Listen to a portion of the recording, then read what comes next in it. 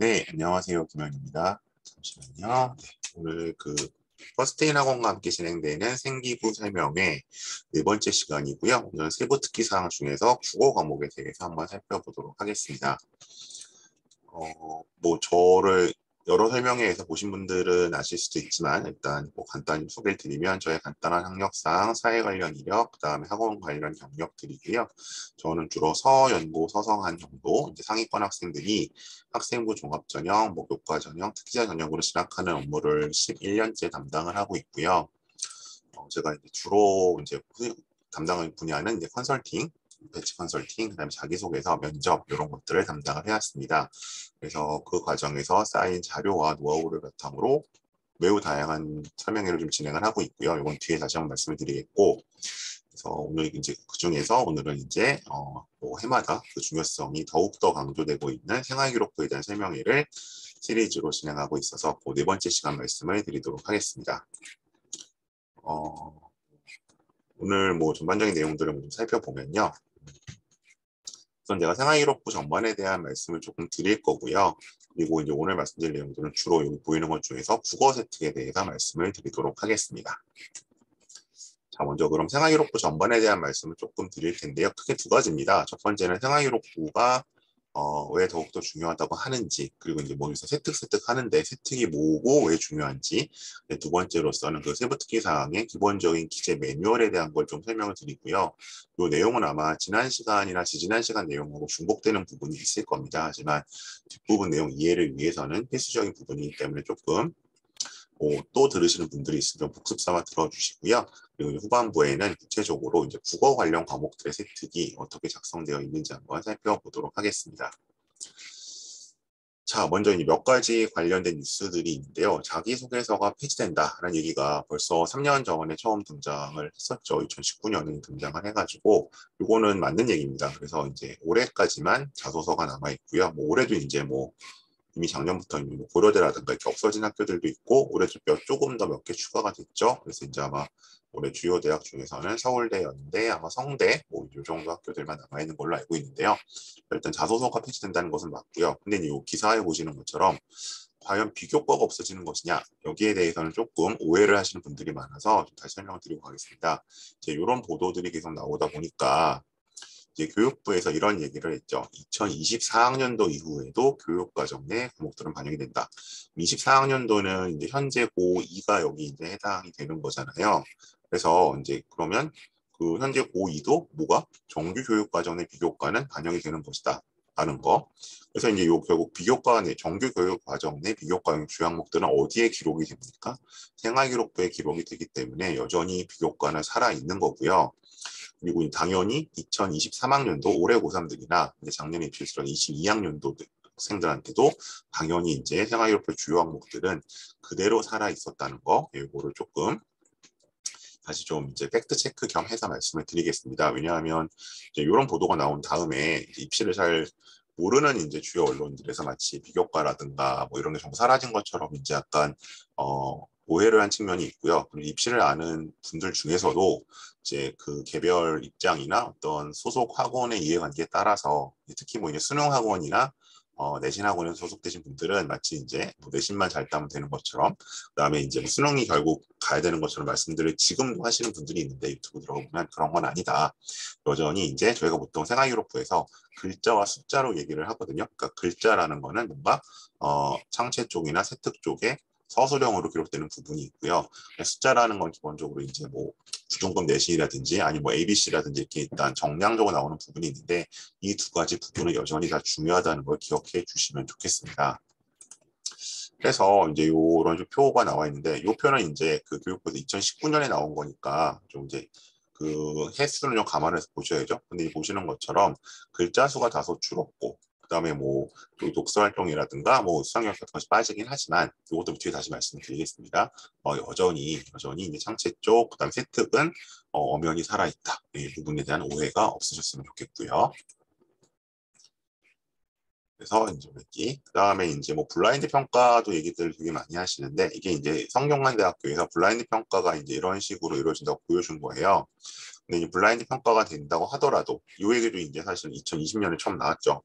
근데 이제 저를 비롯한 대부분의 사람들이 이렇게 말씀들을 드렸어요. 이제 업계에 있는 사람들이 어, 블라인드 평가를 한다고 하더라도 이제 그럼 이제 결국 두 가지 경우가 있을 텐데 이 샘플이 지금 성균관 대학교 거니까 성균관 대학교에 어, 지원자를 많이 보내고 꾸준히 합격자를 내온 학생 내온 고등학교는 성균관 대학교에서 인지를 할 것이다.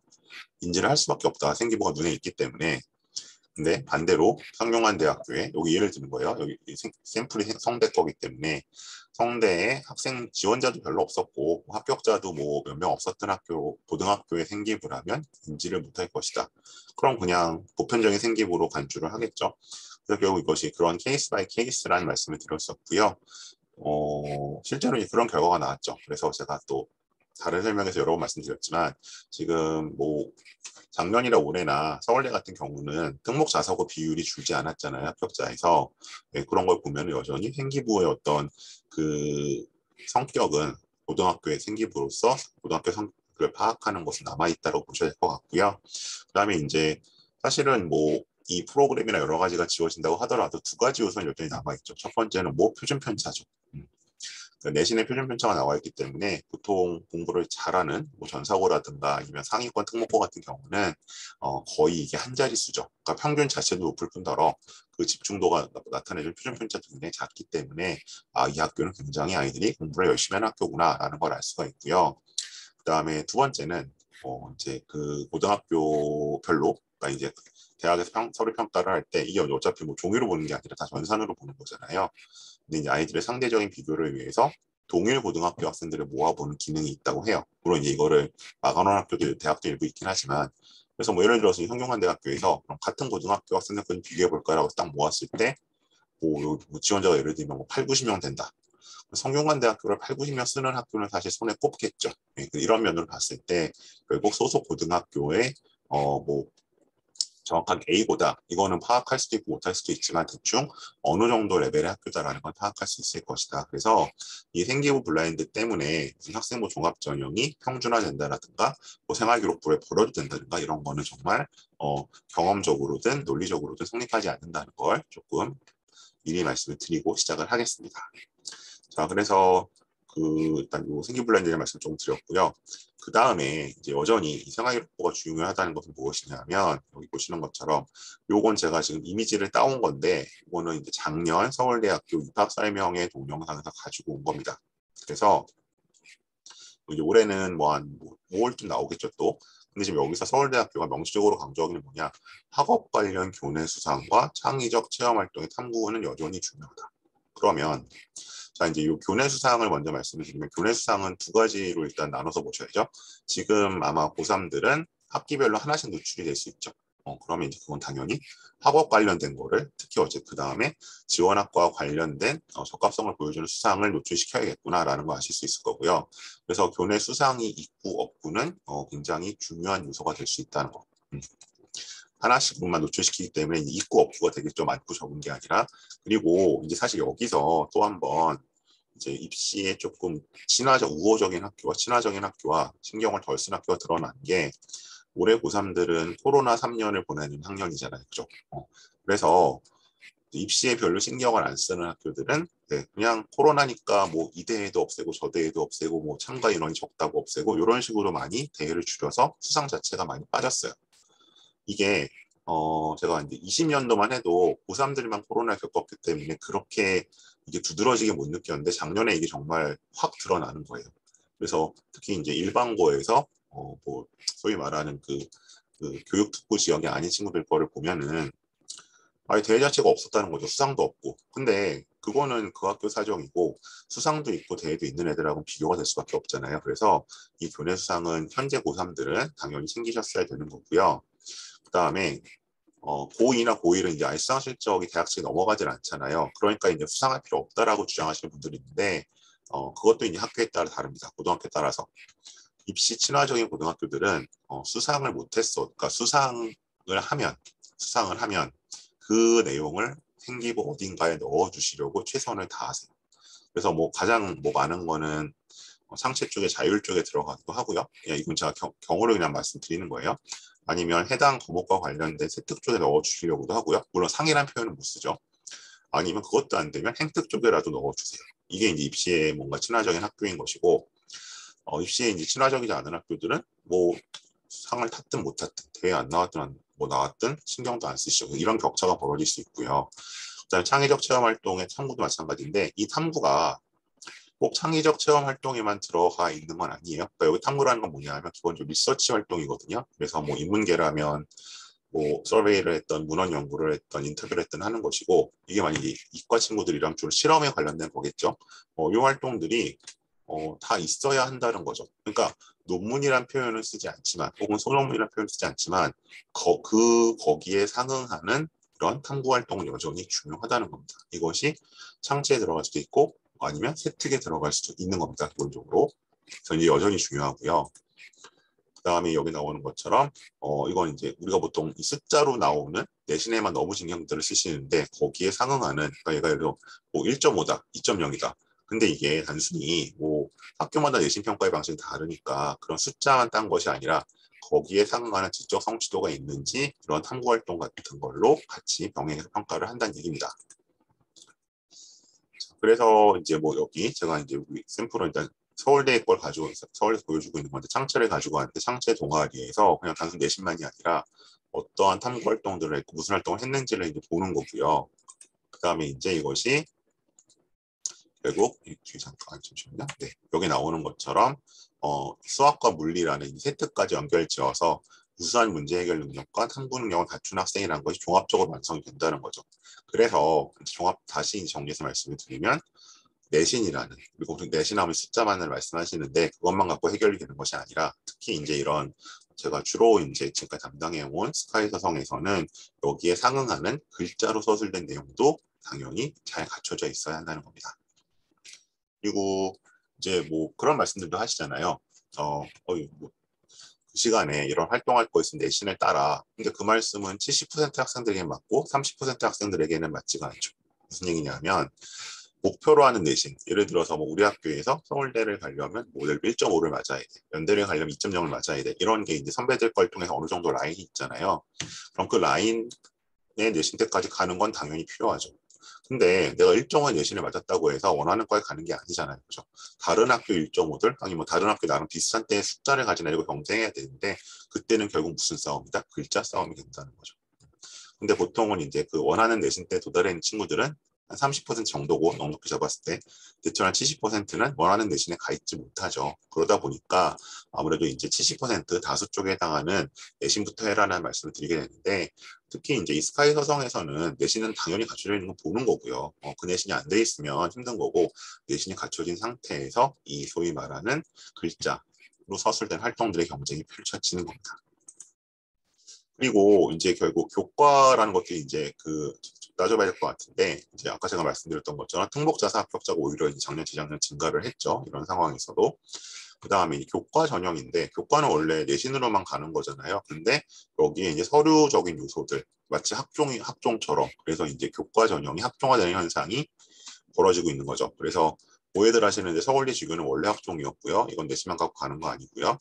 연대는 이제 전체적으로 다 어쨌든 100% 정량적인 요소지만 Z 점수라는 걸 통해서 아까 제가 말씀드렸던 표준 점수를 그 표준 편차를 통한 표준 편차를 통한 학교의 그런 이제 내신 난이도를 좀 측정하는 게 반영되도록 되어 있고 고대는 뭐 예전부터 원래 나와 있죠. 20%의 서류가 있죠. 그래서 뭐 상대적으로 비인기 학과는 크게 상관없습니다만 어쨌든 중위권 이상 학교를 가려면 최소한 그래도 그과 관련된 활동들이 좀 필요한 거고요. 상위권 학과는 뭐 더 말할 필요도 없겠죠.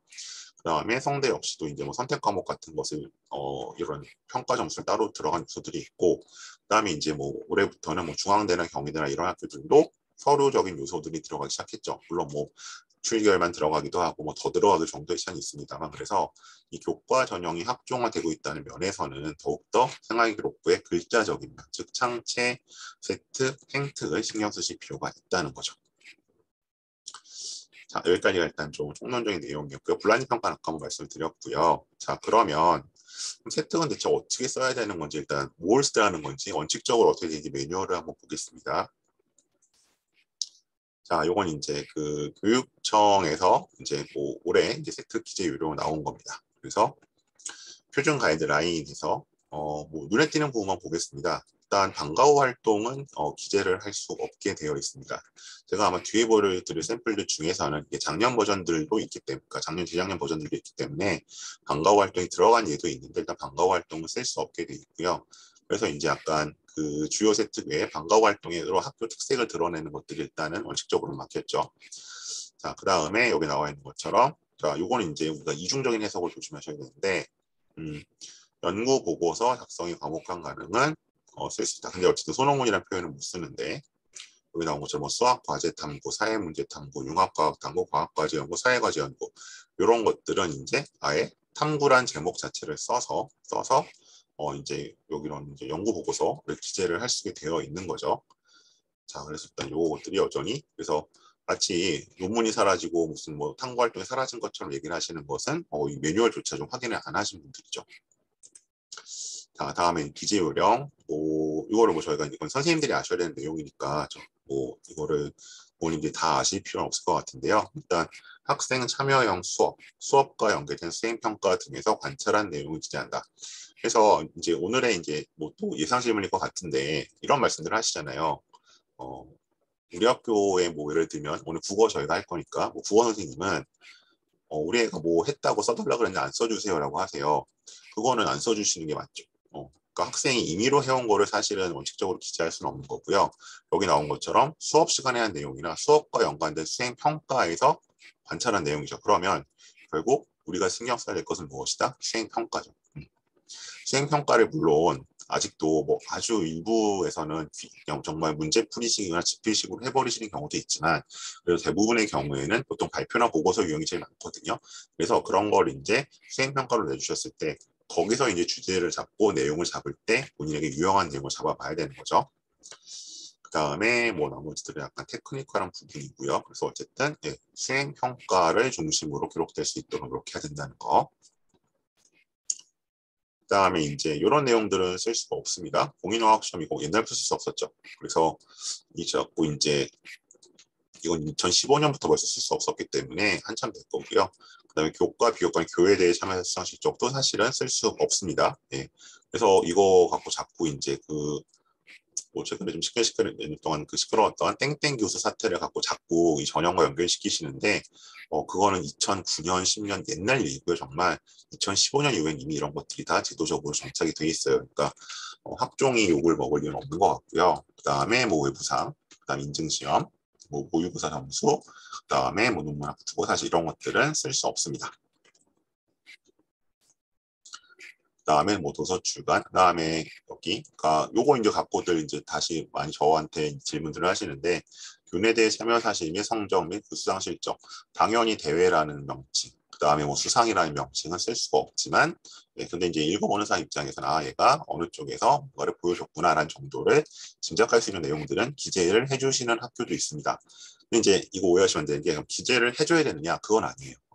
기재를 이제 그 안 해준다고 해서 해주세요라고 할 권리는 없지만 입시를 그래도 친화적으로 하시는 곳들은 어쨌든 어, 이걸 해주시는 곳들이 있고요. 예. 그 다음에 어, 뭐 이제 K목 부분 요건 쓸 수 없게 됐죠. 쓸 수 없게 됐었고 마찬가지로 여기도 자율탐구 활동 그러니까 스스 여기 나와 있잖아요. 학생이 임의로 써온 것에 대해서는 기재가 불가능하다. 결국 뭐를 해야 된다? 수행평가가 나왔을 때 그거를 확실하게 해결을 해야 된다는 거죠. 그리고 2024년부터는 이제 여기 뭐 영재학급 이런 것도 쓸 수는 없게 돼 있습니다. 자, 다음 이제 그러면 본격적으로 샘플들로 좀 가보도록 하겠습니다. 어떤 샘플들이 좋은 샘플들이고 어떤 샘플들이 조금 피해야 될 샘플들인지 국어 과목에서 볼게요. 자, 여기 두 가지는 네, 있어서는 곤란한 샘플들입니다. 설마 이렇게 쓸까라고 하지만 생각보다 꽤 많이 있습니다. 특히 코로나에 꽤 있고요. 근데 물론 이제 이런 거는 없겠죠. 방과후 학교 내용을 쓸 수가 없다고 되어 있기 때문에 이런 걸로 그냥 끝내시는 분들은 없겠지만 어, 재작년까지만 해도 이렇게 기재하시는 분들이 꽤 있었고요. 이게 500자까지 쓸 수 있거든요. 한 학기 내용. 그냥 이렇게 끝나 있습니다. 다른 내용이 없습니다. 네, 이렇게 되는 경우도 있고 그 다음에 이제 요 왼쪽 것도 마찬가지인데요. 교사와 소통한 뭐뭐라고 뭐뭐라고 신문에 통해서 통일성을 갖춘 개요를 작성함. 이것도 사실은 뭐 그렇게 쓸모 있는 내용이라고 보기는 어렵겠죠. 그러니까 친구를 주제로 통일성, 의미성을 갖춘 개요를 작성했다. 그러면 뭐 근데 글에 이게 글자 수가 지금 꽉 찬 것도 아닌데 글에 대한 내용 소개도 없잖아요. 그래서 이거는 사실은 거의 copy and paste로 뭐 그냥 수십 명 학생이 거의 똑같이 들어간 내용들이죠. 그래서 어 이런 세특들은 뭐 마이너스가 된다고 볼 수는 없지만 절대적으로 상대적으로 이제 잘 써준 세특에 비해서는 마이너스의 요소가 있겠죠. 그래서 이렇게 들어가시는 것들은 네 주의하셔야 될 것 같습니다. 자, 다음에 이제 몇 가지 그러면 어 그래도 조금 쓸만한 샘플들의 경우들 좀 보여드릴게요. 자, 이제 토론 내용이 들어가는 경우가 특히 많이 있는데요. 국어 시간에는. 자, 몇 가지 살펴보겠습니다. 자, 저기 한번 잠깐 보시죠.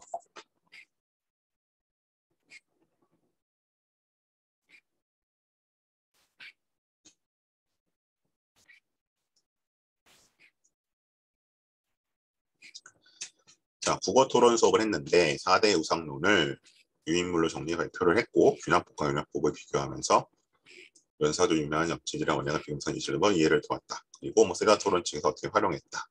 자, 그러면 이 친구가 어, 세다 토론을 했고 뭐 베이컨 균합법을 했는데 그러면 또 자체 역사적으로 유명한 정치인들의 언행을 뭐 예시로 들었다. 그럼 이 친구는 아마 이 세특은 어, 어느 쪽을 염두에 두고 썼을 것이다. 정치인이니까요. 아무래도 뭐 정해나 국제 쪽을 염두에 두고 색깔을 조금 낸 거겠죠. 많이 낸 건 아니고. 다음에 가보면요. 자, 조금 있습니다. 자, 최저임금 인상과 소득주도 성장을 주제로 해서 가서요. 화면을 가려서 쭉 했었고 특히 교차 조사에서 수학적 도표로 상대표적 허점을 지적해 청중과 심판진을 했다. 자 여기 보셔야 될 거는 그 세다에서 이제 어쨌든 교차 조사 굉장히 중요하긴 한데 토론 형식의 이제 뭐 활동을 한 거죠. 근데 내용 자체가 뭐예요? 최저임금에 대한 거잖아요, 그죠? 그래서 그럼 이제 여기에서는 뭐 이제 보통 경제라든가 아니면 여기 뭐 수학적 도표 사용하는 거 보면 통계학과에도 관련이 있을 것 같고요. 뭐 경영과도 관련이 있겠죠. 그래서 이제 토론에서는 그 주제를 뭘로 잡냐에 따라서 본인이 지나가는 학과의 성격을 좀 나타내는 거죠. 자, 마찬가지로 원자력 발전소를 폐지되는 걸 하면서 어, 에너지 환경 변화가 원자력 미치는 영향을 했었고 원자력 발전의 효율성 이런 것들을 했었다. 그럼 이제 마찬가지로 아, 이거 국어 시간이니까 다 인문계들만 해야 되느냐 그것이 아니라 이제 원자력 발전소 뭐 이게 논란이 많잖아요. 탈원전 정책 관련해서 그렇게 한다면 역시 이것도 이제 뭐 원자력 공학과라든가 관련 학과들 의 내용들을 한번 가볼 수 있을 것 같고요. 그 다음에 기본소득제에서 뭐 대해서 찬반 토론했다. 기본소득제도 뭐 요번에 좀 대통령 선거 때 이슈가 좀 됐던 거죠.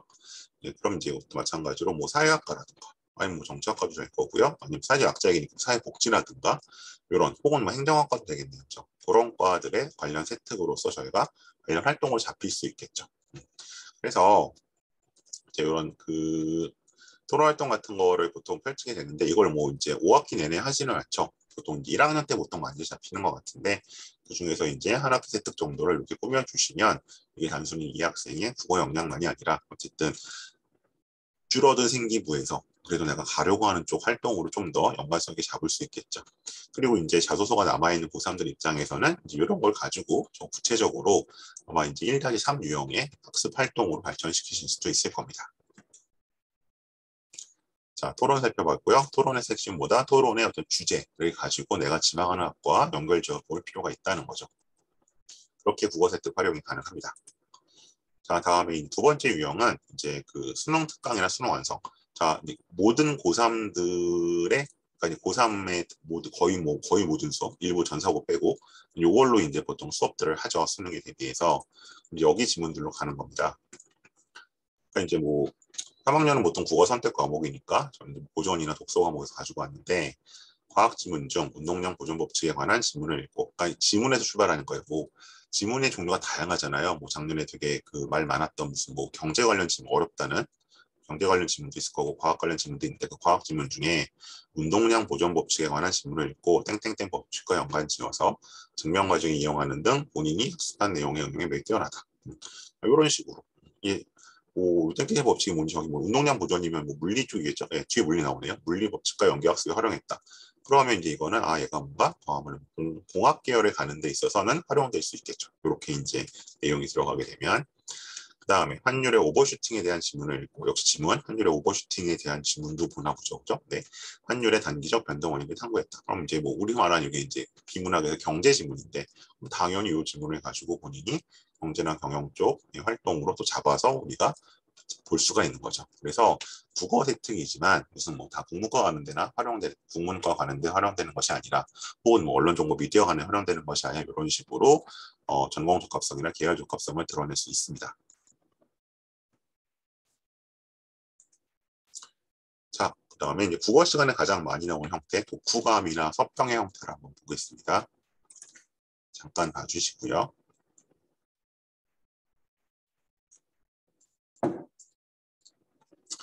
자, 현실 참여 문학을 다루며 문학의 사회적 파급력과 역할을 강조했는데 특히 사회빈곤 현상을 다룬 작품이 땡땡땡을 내용 땡땡땡을 내용 형식적 측면에서 비평하고 법적 제도적 해결 방안을 제안을 했다. 또 땡땡땡 땡땡땡을 연구해 현대 사회를 이해하는 다양한 형식을 가지고 공헌했다. 자, 그러면 물론 문학입니다. 문학이긴 하지만 현실 참여 문학. 그러니까 우리가 보통 뭐 순수 문학과 현실 문학 뭐 이런 식으로 어 아니 뭐 참여 문학 이렇게 구분을 하는데 현실 참여 문학이죠. 요거는 당연히 당대 사회상이 보다 깊숙이 반영이 되어 있고 그러니까 이제 뭐 사회학과라든가 아까 말씀드린 사회과학 쪽을 생각하는 친구들은 당연히 뭔가 문학을 통한 사회 읽기의 예으로 적어갈 수 있는 것이죠. 이렇게 드러날 수 있는 거고요. 그 다음에 동서양의 고전을 비교하기 위해 일리아스를 읽고 모모를 했었고 글스말을 쓰고 일세까지 선생 비교를 했다. 자 마찬가지인데 국어니까 뭐 국문학 학부만 들어가야 된다? 그렇진 않습니다. 문학 전반으로 확장할 수 있는 거고요. 당연히 어, 그래서 이제 여기 나오는 것중 서사시라는 거의 어떤 특성을 잡고서 고것과 전반적인 어, 이리아드 오디세이, 호메로스 작품들이죠. 음. 그래서 이 작품들의 얘기까지도 넣어서 한번 가볼 수 있을 것이다. 기본적으로 이제 문학 어문 계열하는 친구 입장에 이런 식으로 또 확장된 활용이 가능할 겁니다. 그다음에 이제 아까 보셨던 뭐 몇 가지 보고서 형태를 한번 살펴보면요. 소설을 썼나 봐요. 텔레마케터의 마지막 유대를 다룬 소설을 완성을 했고 뭐 짧은 소설이나 자료적 소설 쓰기 같은 게 수행평가로 나오기도 하죠. 이후 스토리텔링 마케팅에 관심을 가져 국문학과 경영을 공부했다 결심을 했다. 근데 뭐 이 두 개가 뭐 복전할 수도 있겠지만 뭐 이럴 경우에 이제 보통 서울대 자유전공 같은 데는 이런 식으로 잡아서 내용을 만들기도 하고요. 허생전을 읽으며 소비자라는 개념에 대해 흥미를 가졌고 프로슈먼 했으며 그래서 이제 특히 연합액을 상기를 읽으면서 지금 수행했지만 양쪽을 택해서 수행을 했다. 음. 그러니까 이제 요거는 프로슈머라는 뭔가 소비자 영향력에 대한 조사를 한 건데 그럼 뭐 이게 경영일 수도 있고 소비자학일 수도 있겠죠. 생활과학대학 쪽. 근데 이제 출발이 뭐예요? 허생전, 그다음에 연암의 상기 이런 것에 이루어졌기 때문에 어 마찬가지로 이제 국어 세특으로서 들어갈 수 있겠죠. 국어 관련 과목 세특, 뭐 문학일 수도 있고요. 이제 좀 계속 가겠습니다. 발터 벤자민의 아케이드 프로젝트가 특정 오브제를 통해 사업 전파한다는 면에서 시인 이상의 건축, 무한 육명 가치와 유사하다고 착안을 했다. 자, 그러니까 이것도 발터 벤ja민의 아케이드 프로젝트는 문학 작품은 아니죠. 문학 작품 당연히 아닌데 사회과학 도서로 봐야 될 것 같은데 이것이 뭐랑 비슷해? 어, 건축 무한 육명 가치 이상 시인, 시인이랑 비, 비슷하다는 생각이 들었다. 그럼 이제 이렇게 연관 지어서 두 개를 한번 비교를 해보는 내용으로 간다면 마찬가지로 국어 쪽 세트를 이용할 수 있는 거고요. 그다음 수행평가로 기사문 작성 같은 것도 나오죠. 네, 그 유형에 따라서는. 그래서 이제 이것을 이제 있어서 뭐 땡땡 고학생이 교 선호하는 교 패션이라는 통해서 여기 보시면 이제 설문조사 한 거 나오죠. 인터뷰 한 거 나와 있고 이런 식으로 보고서 작성의 내용도 들어 요걸 가지고 잠시만요. 늦게 들어오신 분들이 있어 잠깐 입장 처리해드리고 가겠습니다. 네, 어쨌든 그러니까 기사를 쓰는 건데 기사도 어쨌든 뭔가 이런 리서치 자료를 가지고 이제 형식만 기사문으로 쓰면 되는 거잖아요. 마찬가지로 이렇게 표현이 될 수 있습니다. 그다음에 뭐 여기 보는 좀 전형적인 이제 작품 두개 분석, 분석하는 거. 난서공은 뭐 많이들 학생들 보는 거고요. 앵무새 죽이기는 뭐 사실은 영어 공부 용어로 모두 중학교 때들 많이 보죠. 좀 두꺼운 책인데 마찬가지로 이제 이게 사회적 마이너리티 문제를 다루고 있으니까 이제 요거에서 출발을 했는데 그리고 어디까지 가나요? 이런 어, 소위 말하는 구조적 불평등 얘기로 가서 이것이 이제 국제 사회까지 확대를 시켜서 종속이론과 세계체제론 등 여기까지 이학습 시도했다. 마찬가지로 관련성이 문학점 출발을 했기 때문에 국어 관련 세특이 들어와 있는 거고요. 여기서도 나와 있는 것처럼 보시면 이제 이거는 서평이나 보고서 자체를 낸 거였는데 그래서 이제 본인이 국제법을 이런 연기 활동을 했었고 이런 주에 공감을 했다. 그래서 난민과 관련된 걸로 있다. 그래서 요거는 이제 조금 그 어, 대담하게 써주신 것 같아요. 어쨌든 독서 같은데 보시면, 그러니까 지금은 아마 3학년대 과목 중에서 뭐 독서나 이제 뭐 논술 이런 과목들이 있는데 거기서는 그냥 아예 아, 너 가고 싶은 거 관련된 책을 읽으면 그 내용을 써줄게. 그냥 어쨌든 경험의 독서니까 그 경우에는 이렇게 뭐 문학 작품이나 국어 관련성이 상대적으로 떨어져 보이는 경우도 실제 세특에 들어가 있는 경우들이 종종 있습니다. 그래서 이제 또 하나 예상 질문을 미리 답변 드리면 이런 거 쓰면 점수 깎이지 않나요? 근데 생활기록부는 학교가 책임을 지고 작성하시는 것이기 때문에 이 내용이 설령 뭐 매뉴얼에 어긋난다고 하더라도 이거는 학교가 책임을 지므로 학생 개인에게 불이익이 가지는 않습니다. 자, 다음 이제 그다음에 여기서 이제 보여줘야 될 또 다른 능력이 기본적인 글쓰기 능력이죠. 어, 특히 이제 이런 측면에서는 보시면 이제 결과물이 글쓰기로 나오는 것들이 있어요. 친구사랑 글쓰기 이런 것들은 쓸 수는 없습니다. 쓸 수는 없는데 이것들 약간 그냥 이 부분을 생략하고 써주시는 경우도 있는 거죠. 학교 폭력 방관하는 치맥할 깨자라는 뭐 글짓기를 하면서 이 정도로 들어갈 수 있겠죠. 근데 어 이렇게 되면은 보통 어 이게 학교 폭력 관련 대회들은 보통 많이들 있으니까 이제 저희가 짐작을 할수 있다는 것이고요. 근데 뭐 중요한 건 그것보다는 이렇게 깊이 있게 생각하는 습관은 구호 공부를 할 때 작가 의도를 파악하거나 글래주를 찾을 때 큰 영향을 다 영향을 실현시킴. 그러니까 이런 식으로 이제 글쓰기 역량과 동시에 학생의 문해력을 증명해주는 그러니까 뭐 무슨 과를 가던 간에 무슨 과를 가던 간에 문해력은 기초, 기초 중 기초잖아요. 요새 학생들 더 특히 없다고 하는데 예, 이런 걸 보여드리는 방법도 있고요. 오른쪽 같은 경우에는 혼합 현실과 증강현실을 토대로 논리적이며 유연한 글쓰기 능력을 보여줬다. 그래서 관심 분야에 대한 열정으로 개념을 스스로 정교화해 이제 operation definition 개념의 조작적 정의에 능한가 봐요. 어려운 주제를 쉽게 표현하는 소질을 보였다. 그리고 해당 칼럼에서 칼럼 쓰기 역량을 보여주는 거죠. 본인의 관점을 명확히 드러냈다. 그래서 이렇게 해서 뭐 이과든 문과든 간에 이과도 이제 과학적 글쓰기라는 분야가 있을 정도로 글쓰기를 중시하는데 이런 역량을 드러내줄 수 있는 과목 역시 국어다. 그래서 음 이제 보통 제가 뭐 세특을 잘 활용하세요. 그리고 국어에서도 뭐 사회학과 내용 쓸 수 있고 뭐 물리학과 내용 쓸수 있고 이렇게 말씀을 드리면 그럼 다 그렇게 매 학기 채우라는 거냐라고 하시는데 그건 아니고요. 기본적인 이제 그 공부할 수 있는 역량을 보여주는 면에서 이런 내용들, 어떤 글쓰기 역량이나 리터러시 내용을 좀 보여주실 필요도 있겠죠. 국어를 통해서. 자, 그다음에 프레젠테이션 능력, 역량에 대한 걸로 가보면요. 자, 왼쪽 거 보시겠습니다. 매체를 활용한 자율발표 적극 참여에 마케팅 전략과 관련된 다양한 사례를 조사해 발표했다. 네 가지 마케팅 전략을 PPT로 잘 구조화하고 적절한 성량과 어조로 본인의 관심 분야인 영화 마케팅은 미나리 케이스 중심으로 발표를 했다. 뭐 이외에도 키즈 마케팅, 바이럴 마케팅 등에서 높은 전달을 증명을 했다.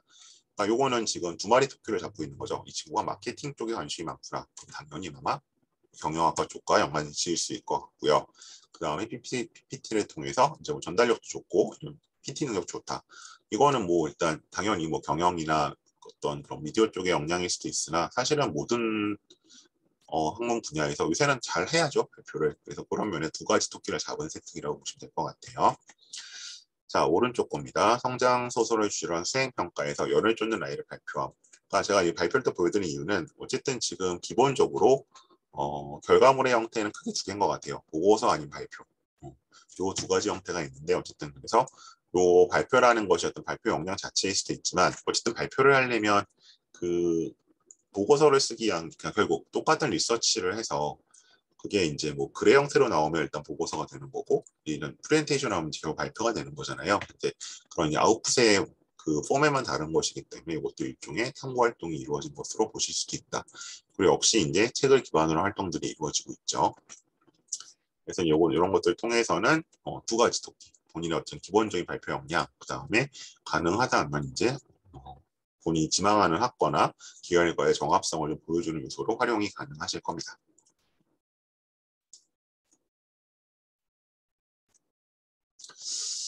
네, 일단 오늘 제가 준비된 내용들을 일방적으로 말씀드릴 것들은 요거 정도까지인 것 같고요. 이제 좀 채팅창을 통해서 질문을 주시면 답변을 드리도록 하겠습니다. 오늘 그 뭐 생활기록부, 그 다음에 국어 과목 이런 식으로 좀 키워드가 두 개 주어져 있긴 하지만 뭐 이것과 관련된 아 이것과 관련되지 않은 좀 벗어나는 입시 전반에 관련된 질문을 주셔도 제가 가능한 범위 안에서 답변을 드리도록 할게요. 자 이제 질문 주실 동안 제가 몇 가지 광고를 드리면 어, 설명회를 제가 다양하게 있다 말씀드렸는데 요새는 뭐 거의 주 2회꼴로 하고 있는 것 같습니다. 지금 저랑 함께 하신 설명이 요거예요. 생기부 웨비나 시즌 2라 그래서 어, 시즌 1 때는 이제 전공이나 계열별로 좀 봤고요. 시즌 2에서는 항목별로 가고 있습니다. 그래서 요거는 매월 2주차 주중에 제가 진행을 하고 있고요. 그래서 요거는 이제 아마 또 다음 달에는 다시 창체 중에 하나 제가 말씀드릴 것 같고 그 다음에 3주차 주중에는 이거 보시는 것처럼 스카이 독서노트 그러니까 이제 계열별이나 학과별로 어떤 책들을 좀 보고 갔는지 말씀드린 설명회를 하고 있습니다. 그리고 연대 UIC에 관심 있는 분들을 위해서는 4주차 주중 세미나 하고 있고요. 이런 식으로 어쨌든 요 네 가지가 일단 주중 세미나로 돌아가고 있어요. 설명회 온라인 설명회로 그리고 이제 스카이 주요 전형과 면접 살펴보는 스펙과 면접은 합격자들을 분석하는 건데 뭐 일단 제가 4주차 아마 주말 이번 달부터 주말로 좀 옮겨서 진행을 할 것 같고 그다음에 지난 주말에 자서 뜯어보기 했었죠. 예, 이런 것들 어쨌든 하고 있고요. 아마 이번 주는 이번 주는 다시 이제 제가 어 지난번에 한번 송민호 선생님하고 콜라보로 설명이 진행했었는데 굉장히 반응들이 좋아서 이번에는 약간 경영과 스카이 경영 경제를 간 친구들의 세트 분석 설명을 조금 어, 진행할 예정으로 있습니다. 이번 주말에 그래서 그거는 제가 다시 밴드를 통해서 공지를 드리겠습니다. 음, 그리고 말씀드려야겠네요. 그 잠시만요. 어, 지금 이제 뭐 학원 통해 들어오신 분도 있고 밴드 통해 들어오신 분도 있는데 요 제일 왼쪽 겁니다. 요 제일 왼쪽에 생기부 magic creation 요 밴드를 통해서 이제 아까 보셨던 다양한 설명이나 여러 가지 프로그램들이 공지가 되니까요. 거기 통해서 좀 확인을 해주시면 좋을 것 같고요. 아직 가입 안 하신 분들은 네, 요 밴드 좀 가입해 주시면 감사하겠습니다. 그리고 잠시만요. 어, 여기 좀, 좀, 어, 글자가 깨지는데요. 제가 좀 다시 잡아볼게요.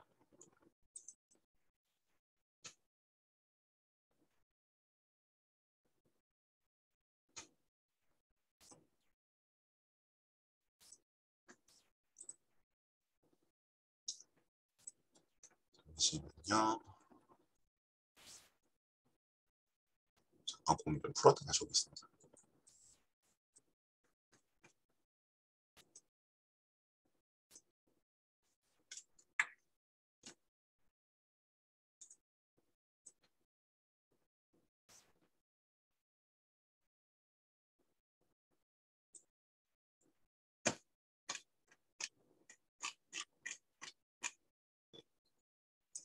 초만 기다려주세요.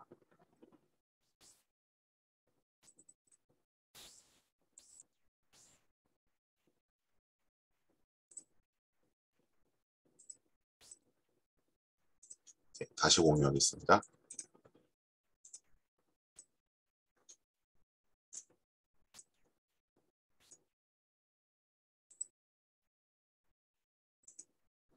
네, 그다음에 어린이날 특강이 있습니다. 그래서 아마 요거는 주로 지금 고3들에게 해당이 되지 않을까 싶은데요.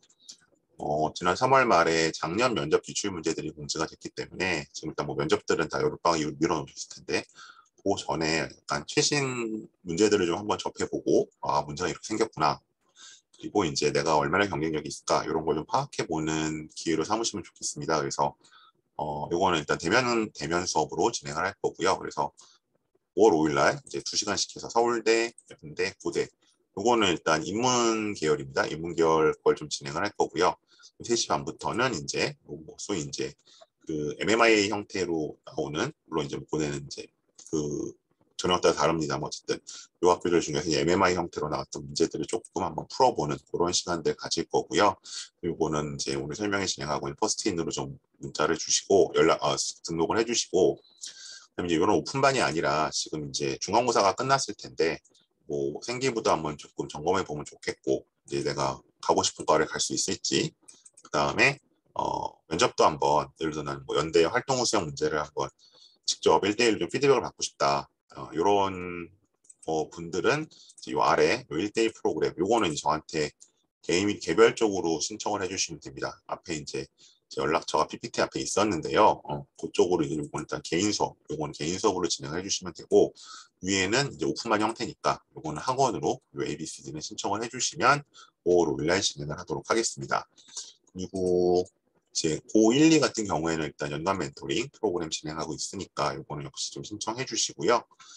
어, 그다음에 고3 같은 경우는 이제 제가 아마 본격적으로 여름방학 때부터가 되겠죠. 보통 에서 어쨌든 배치 컨설팅, 요건 이제 수시 원서 개 정하는 거, 그다음에 뭐 생기부 마무리하는 거, 그다음에 자소서가 완성된 상태에서 리뷰하는 거, 그런 것들이 있고요. 그다음에 요 서류 패키지는 어쨌든 요 A, B, C를 다 하는 겁니다. 다 한꺼번에 묶어서 가는 건데, 어, 뭐 자소서가 보통 두 개, 세 개 나오겠죠. 이제 그렇게 다 묶어서 가는 프로그램. 그래서 요거는 제가 아마 5월 초 정도에 공지를 드릴 테니까 선착순을 좀 신청을 받을 거고요.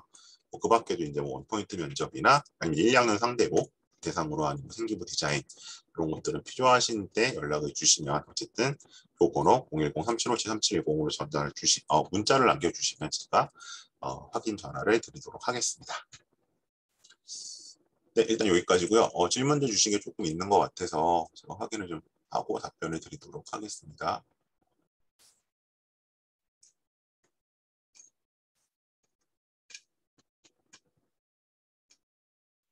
어, 이거 모두한테 주신 거니까. 그러니까 이거 그 완전 오픈으로 주셔도 되고요. 저한테 DM으로 주시면 프라이버시 시키면 제가 답변을 드릴게요. 음, 수상을 못해도 입시 친화적으로 입시 친화적인 학교는 참관 노력도 녹여주시는 경우가 있나요? 네, 꽤 있습니다. 그래서 이제 그 어느 고등학교 가야 되나요? 되게 고민들 보통 하시는데 중3 설명회 하면 저는 어, 입시 친화적인 학교를 보내세요라고 말씀드립니다. 그 입시 친화적인 학교의 제 첫 번째 기준은 생활기록부를 얼마나 열심히 잘 써주시는 거예요. 그러니까 그게 무슨 어, 거짓말을 쓰고 거품을 쓰라는 게 아니라 한 것들을 그래도 최대한 반영해 주시려 노력하는 거. 근데 이제 이런 학교들이 있습니다. 학교 총일시 학교 인정 프로그램을 강조하시는 학습하시 영향이 있다. 학교 인증이 뭐 그런 거죠. 무슨 뭐 무슨 저 무슨 인재 뭐 뭐 뭐 뭐 뭐 이런 식으로 하는 건데요. 어 근데 그거를 근데 그게 요새는 대부분 학교 생활을 자연스럽게 하면 맞춰지게 돼 있거든요. 근데 이제 뭐 학교들 중에 뭐 등산을 갔다 와야 되고 뭐를 해야 되고 아직도 이제 외부 무슨 자격증을 따야 되고 이런 학교들이 있는데 그러니까 그 학교 인증 자체에 너무 집착하실 필요는 없을 것 같아요. 네. 그렇고요. 수행평가가 나오지 않는 과목들은 세팅에 어떤 내용이 적히느냐 어, 일단 제가 여기서 이번 그 올해 안에 다루는 과목들이 주요 과목들이라 국영수 사과를 다뤄서 아마 대부분 수행평가가 나오는 이주 과목들이 안 나오는 경우는 없었던 것 같고요. 학교가 워낙 다양했고 그 수행평가 종류가 한 10개 정도 있거든요. 사실은 원칙적으로는 뭐 주로 이제 보, 고서 발표지만 근데 거고요. 근데 만일에 이제 그렇지 않다면 세특에서는 사실은 그냥 보통 공통된 내용이 적힐 가능성이 높습니다. 이건 뭐 선생님이랑 학교 차이 워낙 커서 어 이제 일점 말씀드릴 수는 없는데 일단은 수행평가가 나오는 아마 주요 과목들은 수행평가를 다 주실 거예요. 500자 한정이라는 이야기는 한 학기 250자. 어 그렇죠. 그러니까 이제 보통 과목들이 1, 2학기가 다 있잖아요. 다 있니까 어, 다 있는 과목들은 500, 한 학기에 500이에요. 한 학기 그러니까 예를 들면 뭐 국어 one, two를 했다. 그럼 이제 국어 one 500자, 국어 two 500자가 되는 거고요. 그런 식으로. 그러니까 이제 한 학기 500자라고 보시면 될 것 같아요. 우리나 특강 참여가 어려운데. 아, 5월 6일까지 학교가 몇 개 있죠. 이거는 그래서 이제 이 문제가 있어서 제가 어, 두 가지예요. 일단 6월 1일 날 한 번 더 할 것 같아요. 6월 1일 아마 그 올해는 지방자치제 선거가 있어서 한 번 더 할 거고요. 그런데 그때 이제 또 내신이라 어렵다고 하시면 어, 저희 밴드 들어와 보시면 이제 아마 온라인 형태 강의가 공지가 될 거예요. 제가 그 메디스카이랑 온라인 형태로도 할 거거든요. 어, 뭐 지방에 있는 친구들도 있고 해서 그래서 그 줌으로 하는 수업도 있으니까 그 둘 중에 하나로 보내주시면 좋겠습니다. 네. 날짜를 이거 그 중간고사 일정 때 고민을 했는데 그래도 5월 5일에 하는 게 제일 좋을 것 같아서 일단 5월 5일 결정을 했습니다. 5월 초 연휴 때 아, 자연계 제시문 면접 이거를 어 저희가 오늘 내일 좀 회의를 했거든요. 제가 일하는 에이프로 아카데미라는 데서 그래서 그게 결정이 되면 제가 밴드를 통해 좀 공지를 드릴게요. 그래서 이게 아마 5월 첫 주가 단기 방학이거나 아니면 최소 6일은 그 또 안 가는 경우가 많죠. 재량 휴업을 해가지고 그래서 그때쯤 한번 만들어 보려고 하고 있고 밴드를 통해서 공지를 확인해 주시면 좋겠습니다. 국어 세특에는 국어 세특은 전공과 연관이 솔직하지 않다. 음, 그러니까 이제 이건 일반적으로 이렇게 말씀하시는 분들이 있어요. 세특을 굳이 어, 전공과 연관 지으려고 애쓰지 말아라. 근데 저는 뭐그 말씀은 뭐 그렇게 하실 수는 있는데 특별히 뭐 국어는 되고 국어는 안 되고 뭐 영어는 된다? 어, 저는 그건 아닌 것 같아요. 그리고 특히 이제 국어에서 아까 보신 것처럼 3학년 때 특히 3학년 때 수능 완성이나 수능 특강 지문 가지고 연관지어서 하는 거는 거의 한 제가 봤을 때는 물론 제가 보는 게 상대적으로 입시에 신경 쓰는 학교들을 많이 보긴 하지만 절반 이상의 학생들은 그렇게 써오거든요. 네, 그래서 특별히 뭐 국어 세팅이라고 해서 전공과 연관지으면 안 될 이유는 없는 것 같습니다.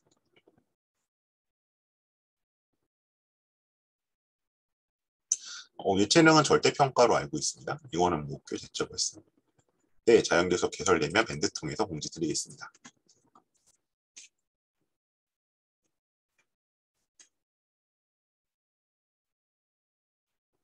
자연계를 이제 연대나 고대는 보통 그 보통 약간 이과적 속성이 조금 약해서 상대적으로 네, 속성이 약해서 이제 어 제가 하는 경우도 있어요. 사실 뭐 저도 작년에 뭐 개인적으로 수업을 하고 했었는데 뭐 서울대 문제 같은 경우 완전히 이제 그 스물학생지 문제를 풀어야 되기 때문에 이거는 아무래도 전공자 선생님들이 좀 오셔야 돼서 좀 의논이 필요할 것 같습니다.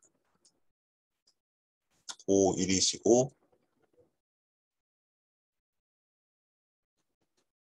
아 그렇죠. 기말까지 합쳐진 게 1학기 내신이 되는 거죠. 그리고 이제 뭐 중간은 또 안 보는 과목이 있는 경우도 있잖아요. 뭐 외고 같은 경우는 그래서 이제 이걸 기말까지 봐서 합쳐지는 게 자기 1학기 내신입니다.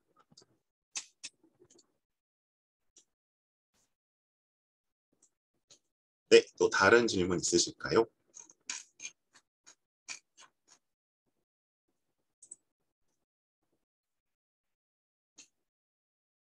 제 연락처는 여기 있고요.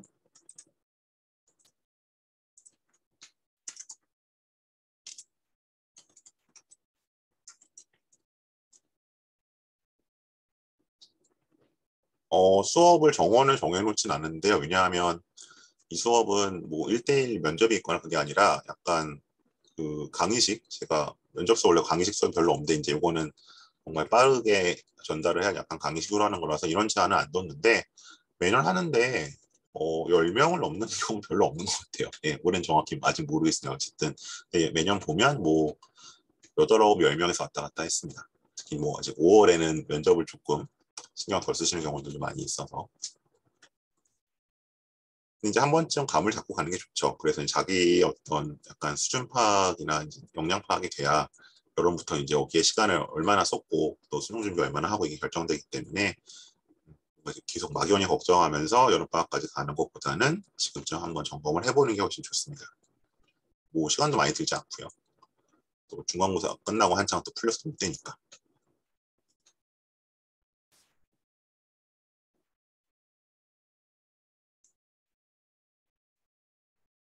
어, 그러니까 이제 이거는 선생 그 담당 선생님께서 수행 주제를 어떻게 주시냐에 달려 있는 것 같아요. 그러니까 완전히 오픈해서 주시는 경우도 있고요. 그냥 뭐 큰 주제 하나 주고 예를 들면 아까 이제 보면 그 뭐 토론을 할 건데 너희끼리 도를 조를 짜서 토론 주제 정해봐라 뭐 이런 식의 경우도 있고 주제를 뭐 대여섯 개 주고 고르라고 하시는 경우도 있고 근데 이제 여기서 이제 최대한 자기 쪽으로 끌고 와야겠죠.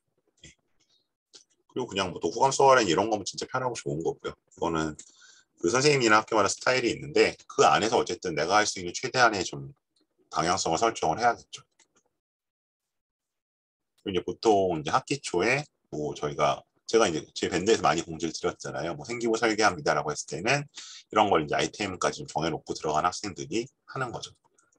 그래서 아마 지금 보통 중간고사랑 기말고사에 이제 애들 표현으로 수행평가 폭탄이 몰리는 시기니까 거기에 대비해서 한 번쯤 상담을 받으시는 것도 괜찮을 것 같긴 해요. 너무 막연하시면. 네, 또 궁금한 질문 있으실까요?